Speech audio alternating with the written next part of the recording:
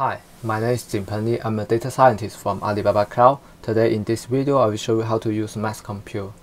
What is a MaxCompute? Mass Compute is a database, and the user can store their over PB or EB level data inside the MaxCompute, and it also supports massive data processing by defining the MapReduce or the UDF function. And you can implement your UDF function by Java or Python. That means you can mix your programming language and we have two IDEs. One is a DataWorks, which is an online IDE. Another is a MaxCompute Studio, which is an offline IDE. And in this video, I show you how to use a MaxCompute Studio and to develop and work on to processing the data. And it's based on MapReduce. So now we can start to install the MaxCompute Studio. Now we create a local project which called word count. And then we have to create a new project that can be connected to the MaxCompute project. And this is some parameters we have to set up SSID, SS key, project name, endpoint. For the SSID and SS key, we need to create a sub-account. Sub -account. And we go to the Alibaba Cloud homepage, and then we go to the console. And then we search for RAM. And we create a new user for account.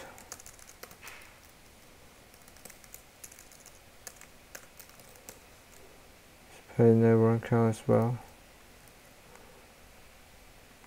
Automatically ge generate the SS key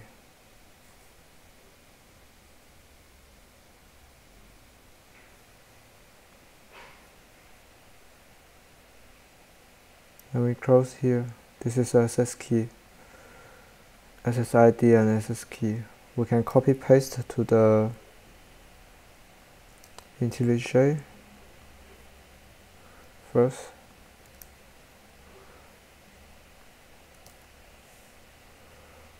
And now we close it and we go to the DataWorks we remind you DataWorks is an online IDE for MaxCompute. And now we can create a new project in the MaxCompute. And we choose a uh, and MaxCompute pay as you go. And I use a data integration as well. We create a new project which called word count 2018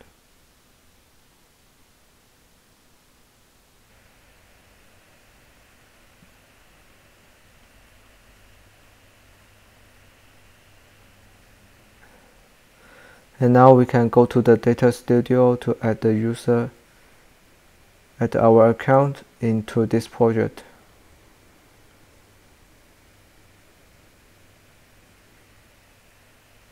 We can set up the permission in the project management. Project manager and then we add the new members as a developer We are missing two parameters. One is the project name, another is the endpoint because this endpoint is used for the channel vision. So we search for the endpoint for Europe. Let's compute endpoint Europe. And now we can have a look.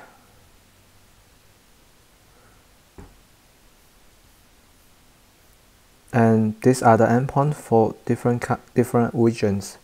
So we choose the endpoint for Europe and then we're back to the IntelliJ for the endpoint here. And we use the work count as a project name 2018 and click. Yes, it was. So in MaxCompute Studio, you can open a console and console is support all the ODPS command.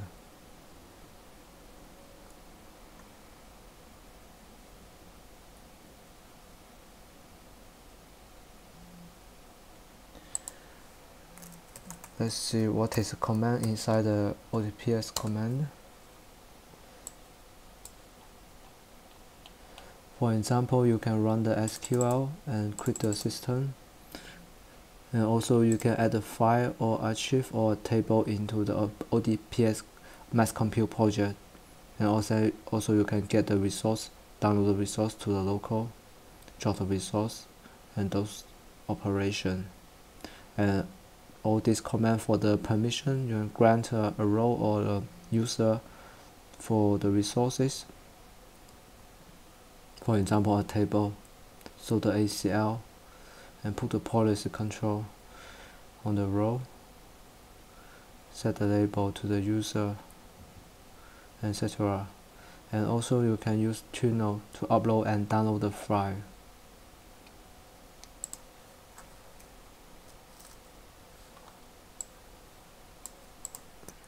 So now we try to initialize a table and then we insert to test the records in these tables. And we open the console in this project. We create a table which called hello with two column, column 1 string, column 2 string. And then we insert into this table with values.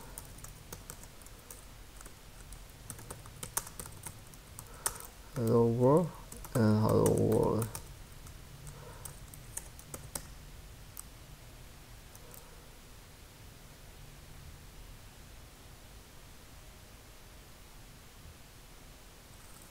and then we insert a second record Alibaba and Jinpeng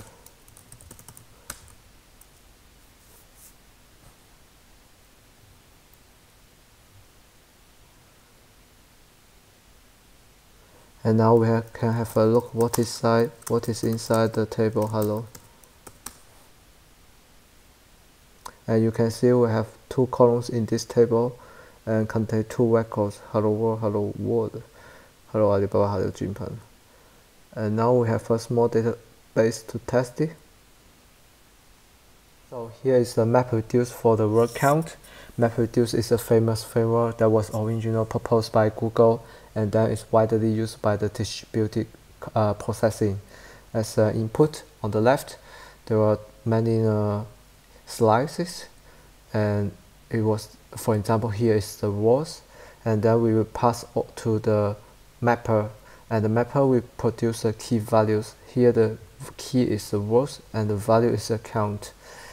And then the second step is the shuffle. Shuffle means the merge sort by the key values. It means that we sort all the key values by keys by using the merge sort. And then after, once the all the key value is sorted, it will assign to the reducer.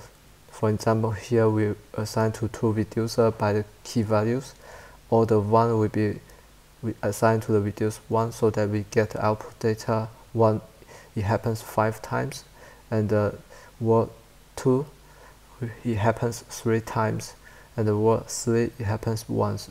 So this is the basic idea for MapReduce and now we can create a MapReduce example for the word count we go to the project and we create a package a module first with MaxCompute java.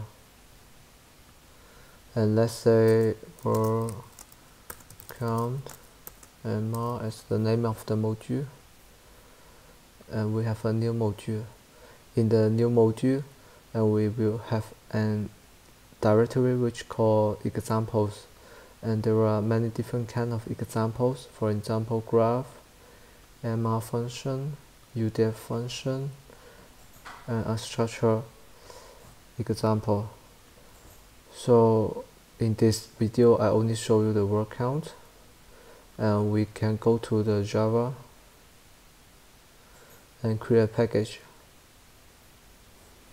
Say dot com example and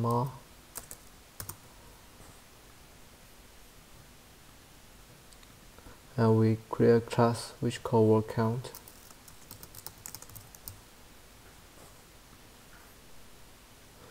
And in the example we just copy paste the code including the import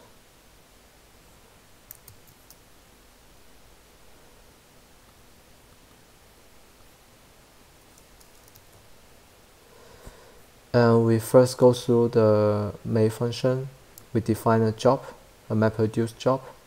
And we set up a mapper combiner and reducer as an output. We define the output as a string which is a word and the output value is a bigint which is a count of the words.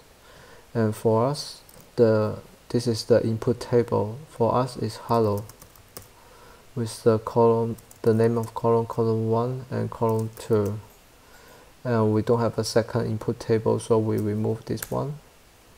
And we define the output table as a hello out. And let me explain a little bit the all the function or the code here we define class which call word count and we define mapper. It's a tokenized mapper Uh, and here is in initialize all the variables.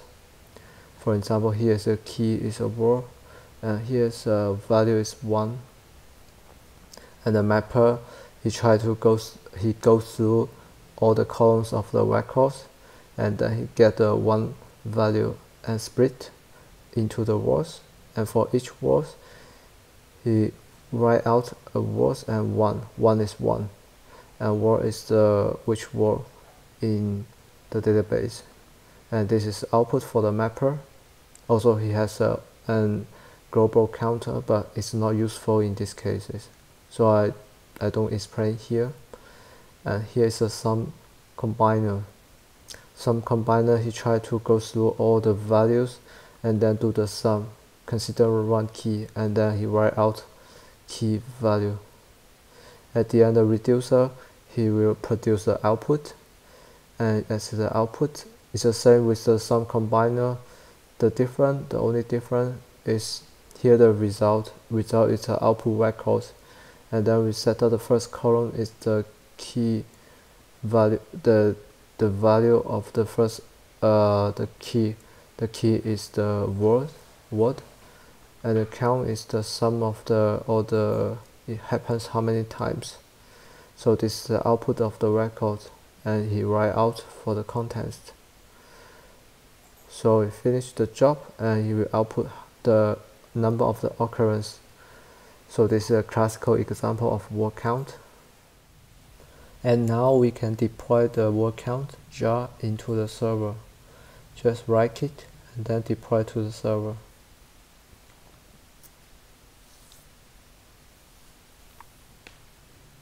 And this is the file we deploy on the remote machine.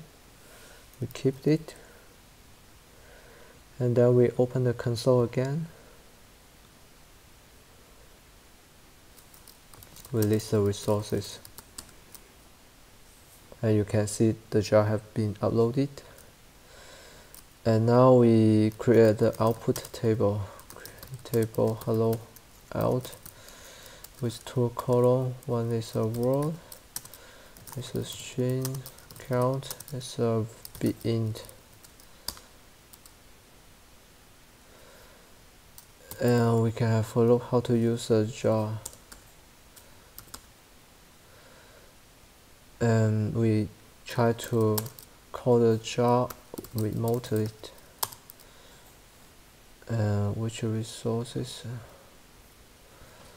Resource because this class path is a local path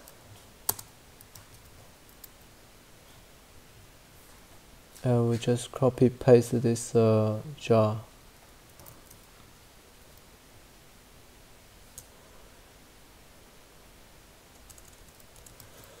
And then we also have um, remote resources on the mach remote machine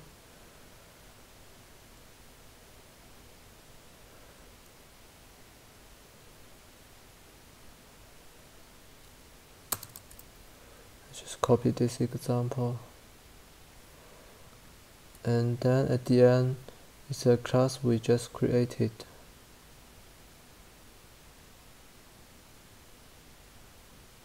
Which called con dot example dot emma dot count. I think it's correct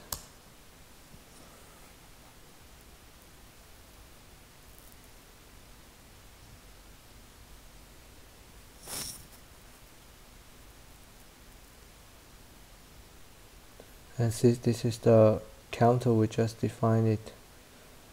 And now we can have a look of the output. Select from hello out.